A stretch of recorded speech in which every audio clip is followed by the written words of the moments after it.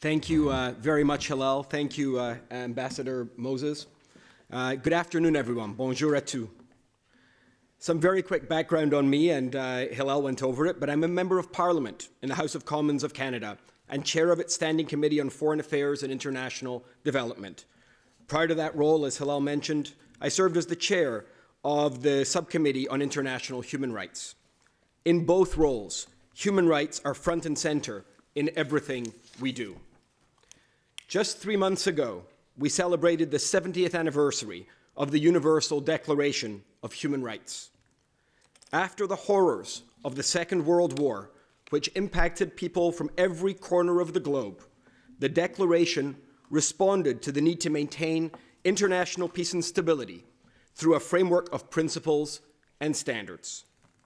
Fundamental to that declaration is that human rights are universal rights. There are no Eastern or Western rights, only the fundamental rights and freedoms that every person, regardless of race, religion, creed, or background, is equally entitled to. No matter where we are from, whatever our different backgrounds, we all have the same aspirations for rights and freedoms that too few of us are privileged to enjoy. Unfortunately, though, we are seeing a resurgence of gross human rights violations around the world. There are the most obvious cases of arbitrary arrests, torture, and executions, of state sanctioned discrimination based on gender or sexuality or religion or political beliefs or any number of factors. There is the subtler but no less insidious criminalization of political dissent and peaceful assembly, where countries like Iran and Venezuela come directly to mind. But we also face a dangerous attempt to undermine universal human rights by denying their universality.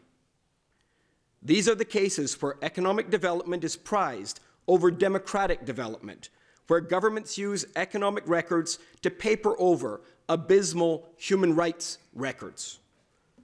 No one can deny that the number of people lifted out of poverty in recent decades has been incredible. But we cannot excuse the denial of rights simply because there's a growing middle class.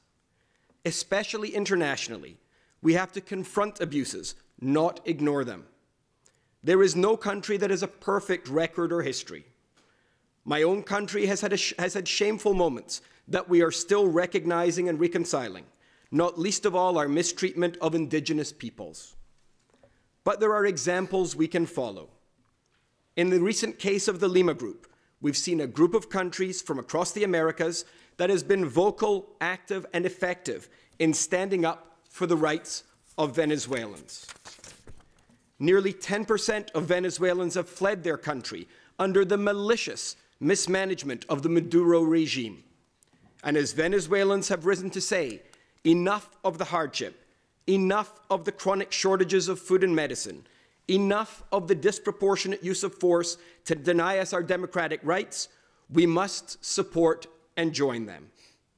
This isn't a denial of economic or political realities. Rather, it's an admission that we cannot take the path of least resistance in confronting human rights abuses. We cannot accept crimes against humanity as inevitable. Human rights abuses should not be papered over in pursuit of economic prosperity. This isn't a repudiation of the international order, it's an embrace of it. Upholding the international framework on human rights is essential to our own national interests.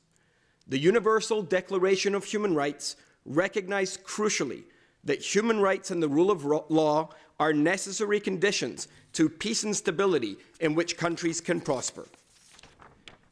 By promoting human rights, by addressing abuses and effecting accountability, we not only improve the conditions of those suffering most, we all benefit in building a safer, more stable, and prosperous world. We cannot abandon that advocacy and abdicate those ideals to those who would rather we talk about anything else. As we begin this summit and listen to the voices of human rights defenders who every day stand up for the ideals enumerated in the Universal Declaration of Human Rights, we must bear that in mind. We should be forever grateful for their and their forebearers' work and never, ever stop supporting them. Thank you.